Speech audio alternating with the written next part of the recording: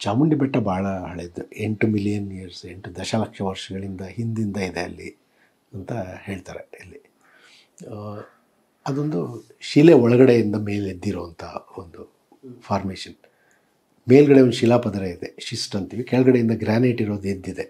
So ಮೇಲಿನ ಪದರ ಎಲ್ಲ ಕೊರಕಲಾಗಿ ಅದರಿಂದ ಶಿಲೆ ಎದ್ದಿರೋದು. ಸೊ ಅದರಿಂದ ಕೆಲವು ಪದರಗಳು ಕ್ರಿಯೇಟ್ ಆಗಿರುತ್ತೆ ಮಧ್ಯೆ. ಆ ಪದರಗಳ ಮಧ್ಯೆ ಕೊರಕಲ್ಗಳಿರುತ್ತೆ. ನೀರು ಸುಲಭವಾಗಿ ಒಳಗಡೆ. ಇಂಗುವಂಥ ಒಂದು ವ್ಯವಸ್ಥೆ. ಆ ಥರ ನೈಸರ್ಗಿಕವಾಗಾದಂಥ ವ್ಯವಸ್ಥೆ ಅದು. ಸಾವಿರದ ಆರುನೂರು ಹೆಕ್ಟೇರ್ ಇದೆ ಅದು, ಇದ್ರ ವಿಸ್ತೀರ್ಣ. ಅದು ಚಾಮುಂಡಿ ಬೆಟ್ಟದ ರಕ್ಷಿತ ಅರಣ್ಯ ಪ್ರದೇಶ ಅಂತ ಇದೆಯಲ್ಲ, ಅಷ್ಟೇ. ಇಡೀ ಚಾಮುಂಡಿ ಬೆಟ್ಟ ಮತ್ತು ಅದರ ಜಲಾನಯನವನ್ನು ನಾವು ತೊಗೊಂಡ್ರೆ ಎರಡು ಸಾವಿರ ಹೆಕ್ಟೇರ್ಗಿಂತ ಜಾಸ್ತಿ ಇದೆ ಅಲ್ಲಿ.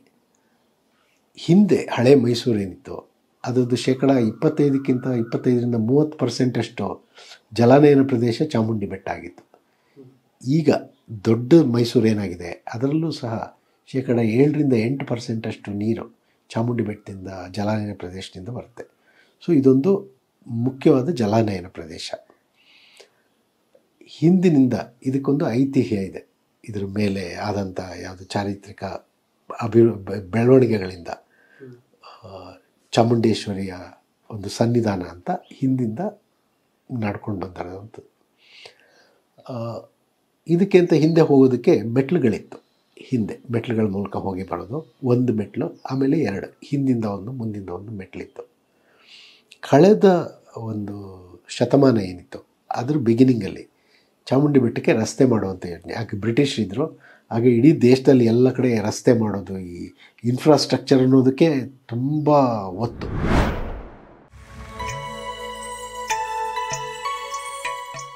ಯಾಕೆಂದರೆ ಹೀಗೇ ನಮ್ಮ ಊರುಗಳೆಲ್ಲ ಬೆಳೆದಿದ್ದು, ಸಂಪರ್ಕ ಬೆಳೆದಿದ್ದು ಎಲ್ಲ ಆ ರೀತಿ ಆಗ್ತಾಯಿತ್ತು ಸೊ ಚಾಮುಂಡಿ ಬೆಟ್ಟಕ್ಕೆ ರಸ್ತೆ ಮಾಡೋದು ಅನ್ನೋ ಒಂದು ಪ್ರಸ್ತಾಪ ಬಂದು ಚಾಮುಂಡಿ ಬೆಟ್ಟಕ್ಕೆ ರಸ್ತೆನೂ ಆಯಿತು. ಯಾಕೆಂದರೆ ಜನಕ್ಕೆ ಅಲ್ಲಿ ಎಲ್ಲರಿಗೂ ಹೋಗೋ ಥರ ಆಗಬೇಕು ಅಂತ. ಹಾಗಾಗಿ ಅದೊಂದು ಪಿಲಿಗ್ರಿಮೇಜ್ ಅಂತ ಹೇಳ್ತೀವಲ್ಲ? ಪವಿತ್ರ ಸ್ಥಾನ. ಜನ ಹೋಗಿ ಬರೋದಕ್ಕೆ ಅನುಕೂಲ ಆಗಿತ್ತು. ನಡ್ಕೊಂಡು ಹೋಗ್ತಾಯಿದ್ರು ಅಥವಾ ವೆಹಿಕಲ್ ಹೋಗ್ತಾಯಿದ್ರು ಇದನ್ನು ಅಷ್ಟೇ ಈಗ ಒಂದು ಅರ್ಧ ಶತಮಾನಗಳ ಹಿಂದಿಂದ ಹೆಚ್ಚು ನಮಗೆ ಕಾರ್ಗಳು ಬಂದಿದ್ದು ಅಲ್ಲಿ ಓಡಾಟ ಮಾಡೋದಕ್ಕೆ ಪ್ರಯತ್ನ ಇದೆ. ಸೊ ಆವಾಗಿಂದ ನಿರಂತರವಾಗಿ ಜನ ಹೋಗಿ ಬರೋದು ಇದೆಲ್ಲ ಆಗ್ತಾಯಿದೆ ರಸ್ತೆಗಳ ನಿರ್ವಹಣೆ ಆಗ್ತಾಯಿದೆ ಮೇಲ್ಗಡೆ ಒಂದು ಜನ ವಸತಿ ಬಂತು. ಆ ವಸತಿ ಹಾಗೇನೆ ಬೆಳೀತಾ ಇದ್ದು ಒಂದು ಸ್ವಲ್ಪ ಮನೆಗಳು ಬಂದ ಮೇಲೆ ಅವ್ರದ್ದು ಒಂದು ಒತ್ತಡ ಇತ್ತು. ಯಾಕೆಂದರೆ ಅವ್ರಿಗೆ ಅವ್ರ ಹಕ್ಕುಗಳಿದೆ. ಅದಕ್ಕೆ ಅವ್ರು ಸೇರಿ ಅದನ್ನೊಂದು ಪಂಚಾಯತ್ ಅಂತ ಡಿಕ್ಲೇರ್ ಆಯಿತು. ಇವತ್ತೊಂದು ನಲವತ್ತು ವರ್ಷಗಳ ಹಿಂದೆ ಅದು. ಸೊ ಕರ್ನಾಟಕದಲ್ಲಿ ಅತಿ ಚಿಕ್ಕ ಗ್ರಾಮ ಪಂಚಾಯತಿ ಅಂದರೆ ಚಾಮುಂಡಿ ಬೆಟ್ಟ, ಒಂದು ಗ್ರಾಮ ಪಂಚಾಯತಿ.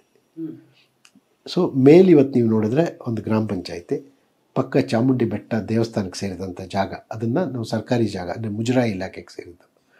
ಮಿಕ್ಕಿದ್ದು ಸಾವಿರದ ಆರುನೂರು ಗ್ರಾಮಕ್ಕೆ ಸೇರಿದ್ದು ಒಂದು ಇನ್ನೂರು ಎಕರೆನೋ ಮುನ್ನೂರು ಎಕರೆನೋ ಇರಬೇಕಷ್ಟೆ. ಅದು ಬಿಟ್ಟರೆ ಮುಜರಾಯಿದ್ದು.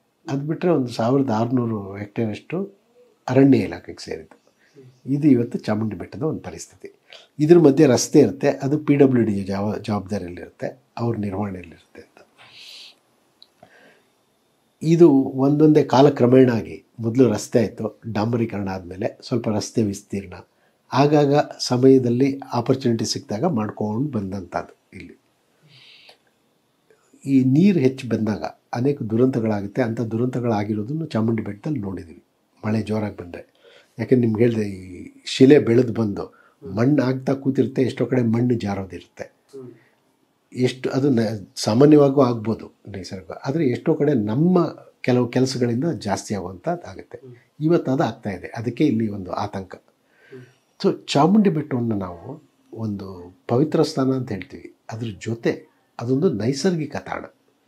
ಇಷ್ಟು ದೊಡ್ಡ ಜಲಾನಯನ ಪ್ರದೇಶ ಅನ್ನಲ್ಲ, ಅಷ್ಟು ಜೀವ ವೈವಿಧ್ಯತೆಯನ್ನು ಕಾಪಾಡುವಂಥ ಒಂದು ಜಾಗ. ನಮ್ಮ ತಲೆಯಲ್ಲಿ ಏನಂದರೆ ಒಂದು ಕಾಡು ಅಂದ ತಕ್ಷಣ ಒಂದು ದಟ್ಟವಾದ ಕಾಡು, ಅರಣ್ಯ ಅಂತೆಲ್ಲ ಅಂದ್ಕೊಂಡಿರ್ತೀವಿ ಇಲ್ಲ, ಎಲ್ಲ ಥರ ಕಾಡಿರುತ್ತೆ. ಕುರ್ಚಲ್ ಕಾಡಿರುತ್ತೆ. ಈ ಬೆಟ್ಟ ಗುಡ್ಡಗಳಲ್ಲಿರುವಂಥ ಕಾಡು ಸಹ ಭಾಳ ಒಂದು ಅಮೂಲ್ಯವಾದದ್ದು. ಯಾಕೆಂದರೆ ಅದರದಲ್ಲೇ ಜೀವನ ಮಾಡುವಂಥ ಅನೇಕ ಜೀವಿಗಳಿರ್ತವೆ ಸೊ ನಮ್ಮ ಜೀವ ವೈವಿಧ್ಯತೆ ಏನಿದೆ ಮೈಸೂರು ಪ್ರಾಂತ್ಯದ ಅದಕ್ಕೊಂದು ಕಾಂಟ್ರಿಬ್ಯೂಟರ್ ಅದು ಒಳ್ಳೆಯದು ಅಲ್ಲಿರೋದು. ಎಷ್ಟೋ ಜೀವಿಗಳ ತಾಣ. ಸೊ ಯಾವುದೇ ಅಭಿವೃದ್ಧಿ ಅಥವಾ ಏನಾದರೂ ಬೆಳವಣಿಗೆ ಆದಾಗ ಇದರಲ್ಲಿ ಒಂದು ಸಮತೋಲನ ಕಾಪಾಡ್ಕೊಂಡಿರಬೇಕು. ಏನು ಅಂದರೆ ಒಂದು ಪವಿತ್ರ ಸ್ಥಾನ ಮನುಷ್ಯರು ಹೋಗಬೇಕು ಬರಬೇಕು ಪುಣ್ಯ ಆಗುತ್ತೆ. ಅಲ್ಲಿರೋರು ಅಲ್ಲಿ ಜೀವನ ಮಾಡಬೇಕು. ಮತ್ತು ಅಲ್ಲಿರೋ ಪ್ರಾಣಿ ಪಕ್ಷಿಗಳಿಗೂ ಒಂದು ಜೀವಕ್ಕೆ ಅವಕಾಶ ಇರಬೇಕು. ಆ ರೀತಿ ಕಾಪಾಡ್ಕೊಂಡು ಬಂದರೆ ನಾವು ಅದನ್ನು ಸುಸ್ಥಿರವಾಗಿ ಕಾಪಾಡ್ತಾ ಇದ್ದೀವಿ ಅಂತ. ಆದರೆ ನಮ್ಮಲ್ಲಿ ಈ ಬೆಳವಣಿಗೆಗಳೇನಾಗ್ತಾ ಇದೆ ಅಂದರೆ ಕಳೆದ ಒಂದು ನಾಲ್ಕು ದಶಕಗಳಿಂದ ಅಭಿವೃದ್ಧಿ ಅಂದ ತಕ್ಷಣ ಒಂಥರ human centric human centric anthropocentric ಅಂತ. ಅಂದರೆ ಮನುಷ್ಯ ಈ ಪರಿಸರ ಅನ್ನೋದೆಲ್ಲ ಎಷ್ಟೋ ಜನ ಕೇಳ್ತಾರೆ ಅದಕ್ಕೆ ಅಯ್ಯೋ ಪರಿಸರ ಅಂದರೆ ಅಲ್ಲಿ ಕಾಡಿಗೆ ಹೋಗ್ರಿ ಇಲ್ಲಿ ಯಾಕೆ ಅನ್ನೋ ಥರ. ಇದು ನಮ್ಮೊಳಗಡೆ ಇರೋದು ಅದು ಭಾಳ ಮುಖ್ಯ. ನಾ ಚಾಮುಂಡಿ ಬೆಟ್ಟದ ಒಂದು ಮಹತ್ವ ಅಂದ್ರೇ ಇಂಥದ್ದೊಂದು ಸ್ಥಾನವನ್ನು ಕಾಪಾಡ್ಕೊಂಬಂದಿರೋದು ಅಲ್ಲಿ. ಸೊ ಅದನ್ನು ಸಹ ಕಾಪಾಡ್ಕೋಬೇಕು. ಬಟ್ ಈಗ ರಸ್ತೆ ಅಗಲಾಗ್ತಾ ಹೋಗುತ್ತೆ. ಮೇಲ್ಗಡೆ ಜನಸಂಖ್ಯೆ ಜಾಸ್ತಿ ಆಗ್ತಾ ಇದೆ. ವರಮಾನ ಎಲ್ಲ ಇರೋದು ಮುಜರಾಯಿ ಇಲಾಖೆಗೆ, ದೇವಸ್ಥಾನಕ್ಕೆ. ಗ್ರಾಮ ಪಂಚಾಯತಿಗೆ ವರಮಾನ ಜಾಸ್ತಿ ಇಲ್ಲ. ಆದರೆ ನಿರ್ವಹಣೆ ಮಾಡಬೇಕಾಗಿರೋದು ಗ್ರಾಮ ಪಂಚಾಯತಿ. ಅದಕ್ಕೆ ಅವರು ಪಾರ್ಕಿಂಗಿಂದ ದುಡ್ಡು ಮಾಡೋದು, ಈ ರೀತಿ ಕೆಲವು ಜಂಜಾಟಗಳು ಹಿಂದಿಂದ ನಡ್ಕೊಂಡು ಬಂದಿದೆ. ಮತ್ತು ಅಲ್ಲಿಯ ಸಾಲಿಡ್ ವೇಸ್ಟ್ ಮ್ಯಾನೇಜ್ಮೆಂಟ್ ಇರ್ಬೋದು, ಕಸ ನಿರ್ವಹಣೆ ಇಂಥದ್ದೆಲ್ಲ ಇದೆಯಲ್ಲ, ಅದೆಲ್ಲ ಇವತ್ತಿಗೂ ಸಹ ಸಾಲ್ವ್ ಆಗದೇ ಇರುವಂಥ ಸಮಸ್ಯೆಗಳಾಗಿ ಒಳ್ಕೊಂಡಿದೆ ಅಲ್ಲಿ ಚಾಮುಂಡಿ ಬೆಟ್ಟ. ಸೊ ಅಭಿವೃದ್ಧಿ ಅಂದ ತಕ್ಷಣ ಇಂಥ ಒಂದು ಪರಿಸ್ಥಿತಿ ಇದ್ದಾಗ ಅದು ನಿರ್ವಹಣೆ ಮಾಡೋದಕ್ಕೆ ಸುಮಾರು ನೈಸರ್ಗಿಕವಾಗಿ ಮತ್ತು ಈಗ ಹೆಚ್ಚುತ್ತಿರೋ ಒತ್ತಡಗಳಿದೆಯಲ್ಲ ನಿರ್ವಹಣೆ ಮಾಡೋಕ್ಕೆ. ಬಟ್ ಸರ್ಕಾರದ ಒತ್ತಡ, ಒಂದು ಒತ್ತಿ ಏನಕ್ಕಪ್ಪ ಇದೆ ಅಭಿವೃದ್ಧಿ ಅಂದರೆ ಮೇಲ್ಗಡೆ ಹೆಚ್ಚು ಜನ ಬರೋ ಥರ ಮಾಡಬೇಕು. ಅದೊಂದು ಬರೀ ಆಧ್ಯಾತ್ಮಿಕ ಅಥವಾ ಪವಿತ್ರ ಸ್ಥಾನ ಅನ್ನೋದಲ್ಲದೆ ಒಂದು ವ್ಯಾಪಾರಿ ಕೇಂದ್ರ, ಯಾಕೆಂದರೆ ಜನ ಬರ್ತಾರೆ ಟೂರಿಸಮ್ ಅನ್ನೋದಿದೆ. ಟೂರಿಸಮ್ನ ಪ್ರಮೋಟ್ ಮಾಡೋಕ್ಕೇ ವ್ಯಾಪಾರ ಆಗಬೇಕು. ಅದು ಆ ವ್ಯಾಪಾರ ಅಂತ ಅಂದ ತಕ್ಷಣ ಅದರದ್ದು ಒಂದು ಬಣ್ಣನೇ ಬ, ಬದಲಾಗೋಗುತ್ತೆ. ಇವತ್ತು ಹೆಚ್ಚು ಒತ್ತಡ ಇರೋದು ಅಂಥದ್ದು ಫಾರ್ ಎಕ್ಸಾಂಪಲ್ ಮುಂಚೆನೂ ಒಂದು ಪ್ರಾಜೆಕ್ಟ್ ಎಲ್ಲ ಯಾವಾಗಲೂ ಬಂತು ಅಂದರೆ ಪಾರ್ಕಿಂಗ್ ಮಲ್ಟಿಪಲ್ ಪಾರ್ಕಿಂಗ್ ಇರುತ್ತೆ ಮಲ್ಟಿ ಲೆವೆಲ್ ಪಾರ್ಕಿಂಗ್ ಬಟ್ ಅಷ್ಟು ಟ್ರಾಫಿಕ್ ಅಲೋ ಮಾಡ್ಬೋದಾ? ಹಾಗಾಗಿ ಒಂದು ಪ್ರಶ್ನೆ ಬರುತ್ತೆ. ಇದಕ್ಕೆ ಧಾರಣಾ ಸಾಮರ್ಥ್ಯ ಅಂತಿದೆ ಕ್ಯಾರಿಯಿಂಗ್ ಕೆಪಾಸಿಟಿ ಅಂದರೆ ಚಾಮುಂಡಿ ಬೆಟ್ಟದ ಥರ ಒಂದು ಪ್ರದೇಶ. ಫಸ್ಟ್ ಅದು ಯಾಕಿದೆ? ನಾವು ಏನಾಗಿ ಕಾಪಾಡ್ಕೋಬೇಕು ಇವತ್ತು ಮುಂದಕ್ಕೆ ಅನ್ನೋದನ್ನಾದರೆ ಅದಕ್ಕೆ ಎಷ್ಟು ಒತ್ತಡ ಬಿದ್ದರೆ ತಡ್ಕೊಳಕ್ಕೆ ಸಾಧ್ಯ? ತಡ್ಕೊಂಡ್ರೆ ತಿರ್ಗಾ ಇರಕ್ಕೆ ಅಂತ. ಅಂಥದ್ದೇನು ಸ್ಟಡಿ ಮಾಡಿಲ್ಲ. ಅದರ ಒತ್ತಡಗಳು ಹೆಚ್ಚಾಗ್ತಾನೇ ಹೋಗಿದೆ. ರಸ್ತೆಗಳೊಂದಿರ್ಬೋದು. ಮೇಲ್ಗಡೆ ಇನ್ಫ್ರಾಸ್ಟ್ರಕ್ಚರ್ ಒಂದು ಕಡೆ ಪ್ರೈವೇಟ್ ಡೆವಲಪ್ಮೆಂಟ್ ಆದರೆ ಇನ್ನೊಂದು ಮುಜರಾಯಿ. ಮುಜರಾಯಿ ಕಡೆಯಿಂದ ಮಾಡ್ತಾ ಇರೋದ್ರಲ್ಲಿ ಎಷ್ಟೊಂದು ಅಲ್ಲಿ ಗೆಸ್ಟ್ ಹೌಸ್ ಬೇಕಿತ್ತ? ಗೆಸ್ಟ್ ಹೌಸ್ ಬಂದಮೇಲೆ ದಾಸೋಹಬಾನ ಊಟಕ್ಕೆ ಅಂತ ಹಾಲ್ ಮಾಡೋದು. ಪ್ರತಿಯೊಂದೂ ಪೇವ್ಮೆಂಟ್ ಪೇವಿಂಗ್ ಆಗ್ತಾ ಬರ್ತಾ ಇದೆ. ಅಲ್ಲಿ ನೀರಿಂಗು ಸಾಮರ್ಥ್ಯ ಕಡಿಮೆ ಆಗ್ತಾ ಇದೆ. ನೀರು ಓಡೋವಂಥದ್ದು ಜಾಸ್ತಿ ಆಗ್ತಾ ಬರ್ತಾ ಇದೆ ಅಲ್ಲಿ. ಇದ್ರದ್ದು ಒಂದು ರಿಸಲ್ಟ್ ನಿಮ್ಗೆ ಒಂದು ಉದಾಹರಣೆ ಕೊಡಬೇಕು ಅಂದರೆ ಸಾವಿರದ ಒಂಬೈನೂರ ತೊಂಬತ್ನಾಲ್ಕರಲ್ಲಿ ಒಂದು ದೊಡ್ಡ ಮಳೆ ಆಯಿತು. ಒಂದು ನೂರಿಪ್ಪತ್ತೈದು ಮಿಲಿಮೀಟ್ರ್ ಒಂದು ದಿವಸದಲ್ಲಿ. ಆ ಚಾಮುಂಡಿ ಬೆಟ್ಟದ ಹಿಂಭಾಗದಲ್ಲಿ ಒಂದು ದೊಡ್ಡ ಲ್ಯಾಂಡ್ ಸ್ಲೈಡ್ ಆಗಿತ್ತು. ಆದರೆ ಆ ಸಮಯದಲ್ಲಿ ನಾವು ಅಬ್ಸರ್ವ್ ಮಾಡ್ತಾ ಇದ್ರೆ ಮುಂದಿನ ಇದು ನವೆಂಬರ್ ನವೆಂಬರ್ ಆದಮೇಲೆ ಮಳೆ ಇಲ್ಲ ಇಲ್ಲಿ. ನವೆಂಬರ್ಗೆ ಹೊತ್ತಿದೆ ಒಂದು ಕೊನೆ ಮಳೆಗಳು. ಮುಂದಿನ ನಾಲ್ಕು ತಿಂಗಳು ಅಲ್ಲಿ ಜರಿಗಳು ಹರಿತಾ ಇತ್ತು. ಸೊ ಇದೇನು ತೋರಿಸುತ್ತೆ ಅಂದರೆ ಆ ಮೇಲ್ಭಾಗ ಇದೆಯಲ್ಲ, ಯಾಕೆಂದರೆ ಒಂದು ಬೆಟ್ಟ ಹೇಗಿರುತ್ತೆ ಅಂದರೆ ಮೇಲೆ ಸ್ವಲ್ಪ ಇಳಿಜಾರು ಕಡಿಮೆ ಇರುವಂಥ ಜಾಗ ಇರುತ್ತೆ, ಅಲ್ಲೇ ಮನೆ ಸ್ಟ್ರಕ್ಚರ್ಸ್ ಎಲ್ಲ ಇರೋದು. ಆಮೇಲೆ ಇಳಿಜಾರು ಇದ್ದಂಥದ್ದು, ಆಮೇಲೆ ಕೆಳಗಡೆ ಬರ್ತಾ ತಿರ್ಗಾ ಇಳಿಜಾರು ಕಮ್ಮಿ ಆಗುತ್ತೆ. ಈ ಮೂರು ಥರದ ಪ್ರದೇಶಗಳಿರುತ್ತೆ ಅಲ್ಲಿ. ಸೊ ಈ ಮೇಲ್ಗಡೆ ಪ್ರದೇಶ ಇದೆಯಲ್ಲ, ಅದ್ರ ವಿಶೇಷತೆ ಏನಪ್ಪ ಅಂದರೆ ಹೆಚ್ಚು ಶಿಥಿಲ ಆಗಿರುವಂಥ ಜಾಗ ನೀರನ್ನ ಹೆಚ್ಚು ಇಂಗಿಸ್ಕೊಳ್ಳೋಕ್ಕೆ ಸಾಮರ್ಥ್ಯ ಇದೆ. ನೀರು ಓಡಲ್ಲ ಒಳಗಡೆ, ಮೇಲ್ಗಡೆ ಓಡ್ದಂಗೆ. ಮಣ್ಣೊಳಗಡೆ ಹೋದ್ಮೇಲೆ ಶಿಲೆಗಳು ನಿಧಾನಕ್ಕೆ ಹರಿದ್ಬಿಟ್ಟು ಹೊರಗಡೆ ಬರ್ತಾ ಇರುತ್ತೆ. ಅದ್ರ ಸಾಮರ್ಥ್ಯ ಎಷ್ಟಿದೆ ಅದೊಂದು ಓವರ್ ಹೆಡ್ ಟ್ಯಾಂಕ್ ಥರ. ಚೆನ್ನಾಗಿ ಚಾರ್ಜ್ ಆದರೆ ನೀವು ನಾಲ್ಕು ತಿಂಗಳು ಜರಿಗಳು ಹರಿತಾ ಇತ್ತು ಅಂದರೆ ನೀವೇ ಇಮ್ಯಾಜಿನ್ ಮಾಡ್ಕೋಬೋದು ಹೇಗಿತ್ತು ಅಂತ. ನಾಲ್ಕು ತಿಂಗಳು? ನಾಲ್ಕು ತಿಂಗಳು. ನಾನೇ ಮಾನಿಟರ್ ಮಾಡಿದ್ದೆ ಇದನ್ನು. ಸೊ ಆ ನೀರನ್ನ ಹಿಡಿದು ಕಳಿಸುವಂಥ ಸಾಮರ್ಥ್ಯ ಇದೆಯಲ್ಲ ನಾವು ಮೇಲ್ಗಡೆ ಪೇವಿಂಗ್ ಮಾಡ್ತಾ ಬಂದರೆ ಅದನ್ನು ಕಳ್ಕೊಂಡ್ಬಿಡ್ತೀವಿ. ಅದರಿಂದ ಒಂದು ಮೇಲ್ಗಡೆ ಇದ್ದಿದ್ದು ಚಾರ್ಜಿಂಗ್ ಕಮ್ಮಿ ಆಯಿತು. ನಿಮಗೆ ನೀರು ನಿರಂತರತೆ ಕಮ್ಮಿ ಆಯಿತು. ಎರಡನೇದು, ನಾವು ಪೇವ್ ಮಾಡಿದ್ರಿಂದ ನೀರು ಓಡುತ್ತೆ. ಹೆಚ್ಚು ನೀರು ಓಡಿದ್ರೆ ಕೆಳಗಡೆ ಹೋಗ್ತಾ, ಆ ಭಾಗದಲ್ಲಿ ಕೊರಕಲು, ಕೊರತ ಜಾಸ್ತಿ ಆಗೋದು ಸಂಭವ ಜಾಸ್ತಿ. ಚರಂಡಿಲೂ ಅಷ್ಟೇ. ಹರಿಯೋ ನೀರು ಜಾಸ್ತಿ ಆಗ್ತಾ ಇದ್ದರೆ ಚರಂಡಿಲಿ ಅದನ್ನು ಸಹ ಕೊರಕಲ್ಗಳನ್ನ ಉಂಟು ಮಾಡುತ್ತೆ, ಕೊರತ ಉಂಟು ಮಾಡುತ್ತೆ. ಲ್ಯಾಂಡ್ ಸ್ಲೈಡ್ ಸಂಭವ ಜಾಸ್ತಿ ಆಗ್ತಾ ಹೋಗುತ್ತೆ. ಸೊ ಆದ್ದರಿಂದ ಈ ಅಭಿವೃದ್ಧಿ ಹೆಸರಲ್ಲಿ ಇವತ್ತು ಏನಾಗ್ತಾ ಇದೆ ಕಮರ್ಷಿಯಲೈಸೇಷನ್ ಇರ್ಬೋದು ಈ ಇನ್ಕ್ರೀಸ್ ಪೇವಿಂಗ್ ಇರ್ಬೋದು, ಅಂಥದ್ದೆಲ್ಲ ಮಾಡಬೇಡಿ ಅಂತ ಮೈಸೂರವ್ರು ಕೇಳ್ತಾ ಇದ್ದಾರೆ. ಯಾಕೆಂದರೆ ಇದೊಂದು ಪವಿತ್ರ ಸ್ಥಾನ ಇರಲಿ, ಇದು ಕಮರ್ಷಿಯಲ್ ಪ್ಲೇಸ್ ಆಗೋದೇ ಬೇಡ. Mysuru already it's a tourist centre ನಮಗೆ ಇಲ್ಲಿ ತುಂಬ ಜನ ಬರ್ತಾರೆ. ಮತ್ತು ಯಾವುದಕ್ಕೆ ಬೇಕೋ ಆ ಉದ್ದೇಶಕ್ಕೆ ಬಂದು, ಯಾರು ದೇವಸ್ಥಾನ ನೋಡಬೇಕು, ದೇವ್ರ ದರ್ಶನ ಮಾಡಬೇಕು, ಅಥವಾ ಒಂದು ನಿಸರ್ಗದ ಜೊತೆ ಇರಬೇಕು ಅಂದ್ರೆ ಹೋಗಬೇಕು. ಅಲ್ಲೋಗಿ ನಾವು ಶಾಪಿಂಗ್ ಮಾಡಬೇಕು, ಮಾಲ್ ಮಾಡಬೇಕು ಅಂತೆಲ್ಲ ಅಂಥ ಪ್ರಯತ್ನಗಳು ಬೇಡ. ಇಲ್ಲಿ ಆ ಪ್ರಸಾದ ಅನ್ನೋ ಯೋಜನೆಯಲ್ಲಿ ಇದೇ ಥರ ಆಗ್ತದೆ, ಆ ಥರ. ಸುಮಾರು ಶಾಪಿಂಗು ಅಲ್ಲಿ ಮಳಿಗೆಗಳು ಮಾಡ್ತೀವಿ ಅಂತ. ಅದನ್ನೆಲ್ಲ ಬೇಡ ಅಂತ ಮೈಸೂರವ್ರು ಹೇಳ್ತಾ ಇದ್ದಾರೆ. ಇನ್ನೊಂದು ರೋಪ್ ವೇ ಮಾಡಬೇಕು ಅಂತ. ಈಗಲೇ ರೋಡ್ ಇರೋದು ರೋಡ್ ಇದೆ ಅಂದರೆ ರೋಡ್ ಮೇಲೆ ಒತ್ತಡ ಜಾಸ್ತಿ ಆಗುತ್ತೆ. ಇಲ್ಲಿ ಪ್ರತಿ ವರ್ಷ ಆಷಾಢ ಮಾಸ ಇರುತ್ತಲ್ಲ ಆಷಾಢ ಶುಕ್ರವಾರ ಎಲ್ಲ ವಿಶೇಷ. ತುಂಬ ಜನ. ಇವತ್ತು ದಿನ ಒಂದು ಐದರಿಂದ ಹತ್ತು ಹದಿನೈದು ಸಾವಿರ ಜನ ಹೋದರೆ ಅವತ್ತು ಐವತ್ತು ಸಾವಿರ ಜನ. ಮತ್ತು ಇಂಥ ವಿಶೇಷ ಹಬ್ಬ ಇದ್ದರೆ ಲಕ್ಷ ಜನ ಈ ಥರ ಎಲ್ಲ ಹೋಗೋದಿರುತ್ತೆ. ಅಂಥ ಸಮಯದಲ್ಲಿ ಇವತ್ತು ಟ್ರಾಫಿಕ್ ನಿಯಂತ್ರಣ ಮಾಡೋಕ್ಕೆ ಏನು ಮಾಡ್ತಾ ಇರುತ್ತೋ no private vehicle is allowed Lalit Mahal helipad ಹತ್ರ ಬಸ್ ವ್ಯವಸ್ಥೆ ಇರುತ್ತೆ. ಜನ ಬರ್ತಾರೆ ಪಾರ್ಕ್ ಮಾಡ್ತಾರೆ ಬಸ್ಸಲ್ಲಿ ಹೋಗ್ತಾರೆ. ನಾವು ಪ್ರತಿದಿನ ಆ ಥರ ಮಾಡೋಕ್ಕಾಗುತ್ತೆ. ನಮಗೆ ಆವಾಗ ಈ ಹೋಗುವಂಥ ಹಾವಳಿನೇ ಕಮ್ಮಿ ಆಗುತ್ತೆ. ಟ್ರಾಫಿಕ್ನ ನಿಯಂತ್ರಣ ಮಾಡಬಹುದು ಮತ್ತು ಇನ್ನು ಬರೋ ದಿವಸಗಳಲ್ಲಿ ಗ್ರೀನ್ ಟ್ರಾನ್ಸ್ಪೋರ್ಟ್ ಅಂದರೆ ನಿಮಗೆ ಎಲೆಕ್ಟ್ರಿಕ್ ವೆಹಿಕಲ್ಸ್ ಹೋಗುತ್ತೆ. ಆ ಥರ ಎಮಿಷನ್ ಇರಲ್ಲ. ಕ್ವೈಟ್ ವೈಬ್ರೇಷನ್ಸ್ ಕಮ್ಮಿ ಇರುತ್ತೆ. ಅಂಥ ವೆಹಿಕಲ್ಸಲ್ಲಿ ಹೋಗಿ ಬರ್ಬೋದು. ಅಷ್ಟಕ್ಕೆ ಸೀಮಿತ ಆಗಿರೋದು ಈ ರೋಪ್ವೆ ಇದೊಂದು ಚಿಕ್ಕ ಗುಡ್ಡ. ಆ ಗುಡ್ಡದ ಮೇಲೆ ಈಗಲೇ ಸುಮಾರು ಆಘಾತ ಇದೆ. ಎರಡು ಮೆಟ್ಲು, ಎರಡು ರಸ್ತೆ ಆಲ್ರೆಡಿ ಇದೆ. ಅದಲ್ಲದೆ ನಿಮಗೆ ಎಲೆಕ್ಟ್ರಿಕ್ ಕೇಬಲ್ ಇರುತ್ತೆ ವಾಟರ್ ಪೈಪ್ಲೈನ್ ಇದೆ. ಇವುಗಳೆಲ್ಲ ಬಂದಾಗ ಅದ್ರ ಮೇಲೆ ಒತ್ತಡ ಜಾಸ್ತಿ ಆಗ್ತಾ ಹೋಗುತ್ತೆ. ಎಲ್ಲ ಇನ್ಫ್ರಾಸ್ಟ್ರಕ್ಚರಿಂದ ಡ್ಯಾಮೇಜ್ ಆಗ್ತಾ ಹೋಗುತ್ತೆ. ಅದಿನ್ನು ಜಾಸ್ತಿ ಮಾಡೋದು ಬೇಡ ಅಂತ. ಯಾಕೆಂದರೆ ರೋಪ್ ಅಂದರೆ ಸುಮಾರು ಡಿಗ್ ಮಾಡಬೇಕು ವೈಬ್ರೇಷನ್ಸ್ ಬರುತ್ತೆ, ಸುಮಾರು ಪಾತ್ ಕ್ಲಿಯರ್ ಮಾಡಬೇಕು. ಒಂದು ಸಣ್ಣ ಬೆಟ್ಟದಲ್ಲಿ ಅದನ್ನು ಯಾಕೆ ಮಾಡ್ತಾರೆ ಇದೊಂದು ಕಮರ್ಷಿಯಲ್ ಇಂಟ್ರೆಸ್ಟ್ ಎತ್ತರ ಜಾಸ್ತಿ ಇಲ್ಲ.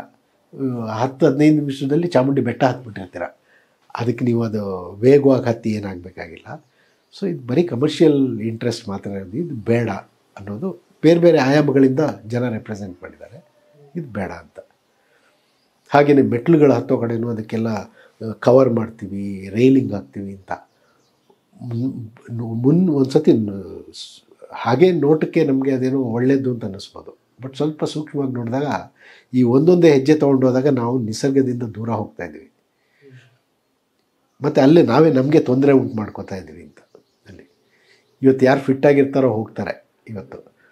ಮತ್ತು ರೈಲಿಂಗ್ ಒಂದು ಕಡೆ ಹಾಕಿದರೆ ಒಂದು ಕಡೆ ರೈಲಿಂಗ್ ಹಾಕಿದ್ರೆ ಸಾಕಾಗಲ್ಲ, ಇನ್ನೊಂದು ಕಡೆ ರೈಲಿಂಗ್ ಬೇಕು. ನಿಮ್ಮ ತಕ್ಷಣ ಅದರದ್ದು ಒಂದು ಫೀಲಿಂಗೇ ಬದಲಾವಣೆ ಆಗ್ತಾ ಹೋಗುತ್ತೆ. ನಿಮಗೆ, ನಿಮ್ಮ ಸಂಬಂಧ ಏನಿದೆ ಬೆಟ್ಟದ ಕಡೆ, ಅದು ಕಡಿಮೆ ಆಗ್ತಾ ಹೋಗುತ್ತೆ. ಚಾವಡಿನೂ ಬೇಡ ಇವತ್ತು. ಬೇಕು ಅಂದರೆ ಛತ್ರಿ ಇಟ್ಕೊಂಡು ಹೋಗ್ತಾರೆ ಬರ್ತಾರೆ. ಯಾರು ಇದುವರೆಗೆ ಕಂಪ್ಲೇಂಟ್ ಮಾಡಿಲ್ಲ. ಅಲ್ಲಿ.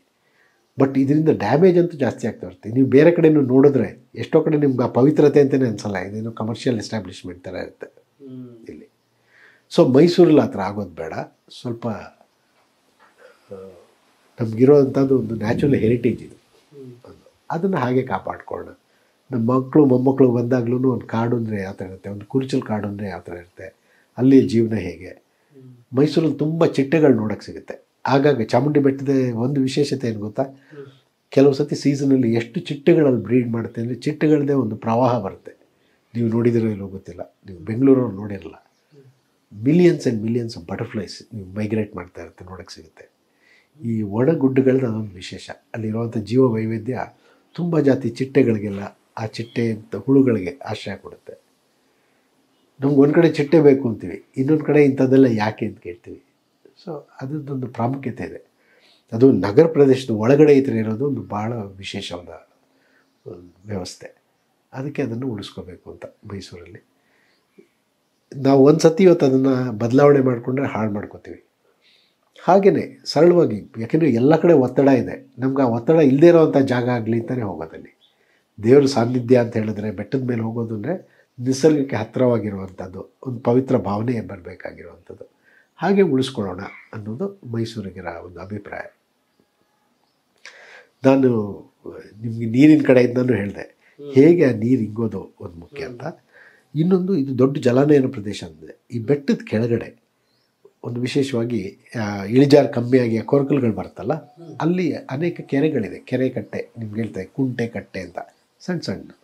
ಒಂದು ಹನ್ನೆರಡು ಅಂತ ಕೆರೆ ಕಟ್ಟೆಗಳಿದೆ. ದೊಡ್ಡದು ಅಂದರೆ ಕಾರಂಜಿ ಕೆರೆ. ಅದಕ್ಕೂ ಅಲ್ಲಿಂದನೇ ಬರೋದು. ಹೆಚ್ಚಿನ ಕ್ಯಾಚ್ಮೆಂಟ್ ಚಾಮುಂಡಿ. ಸುತ್ತಮುತ್ತ, ಅದು ನಿಮ್ಗಷ್ಟು ಗೊತ್ತಾಗಲ್ಲ.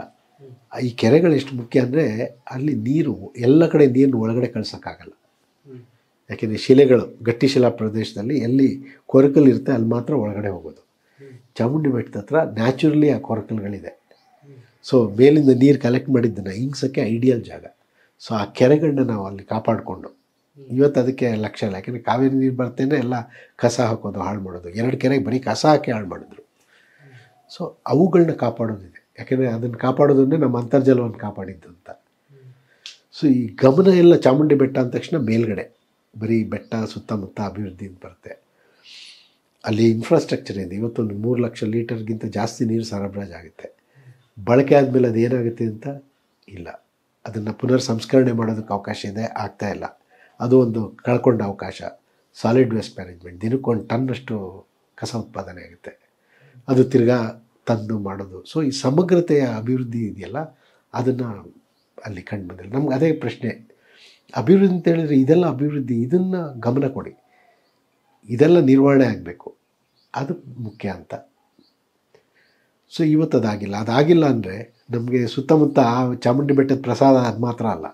ನಿಮಗೆ ಅಲ್ಲಿಯ ಬರೋವಂಥ ತೀರ್ಥ ಮತ್ತು ಕಸ ಏನಿದೆ, ಅದು ಸಹ ಸುತ್ತಮುತ್ತ ಹರಡುವಂಥ ಪ್ರಮೇಯ ಇದೆ. ಅದು ಆಗಬಾರ್ದು.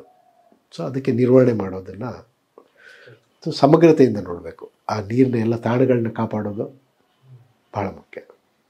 ಪ್ರಿಯ ವೀಕ್ಷಕರೇ, ನಮ್ಮ ಕರುನಾಡಿನ ಸಾಹಿತ್ಯ, ಸಂಸ್ಕೃತಿ, ವಿಶೇಷ ವ್ಯಕ್ತಿಗಳ ಸಂದರ್ಶನವನ್ನು ತಪ್ಪದೇ ವೀಕ್ಷಿಸಿ. ನಮ್ಮ ಚಾನಲ್ ಅನ್ನು ಸಬ್ಸ್ಕ್ರೈಬ್ ಮಾಡಿ, ಬೆಲ್ ಐಕನ್ನ ಕ್ಲಿಕ್ ಮಾಡಿ, ನಿಮ್ಮ ಅಭಿಪ್ರಾಯವನ್ನು ತಪ್ಪದೇ ತಿಳಿಸಿ. ಡಿಜಿಟಲ್ ಮಾಧ್ಯಮ ಎಲ್ಲಾ ಸಾಮಾಜಿಕ ಜಾಲತಾಣದಲ್ಲೂ ಲಭ್ಯವಿದೆ. ಸ್ವತಂತ್ರ ಪತ್ರಿಕೋದ್ಯಮವನ್ನು ಬೆಂಬಲಿಸಿ. ಧನ್ಯವಾದಗಳು.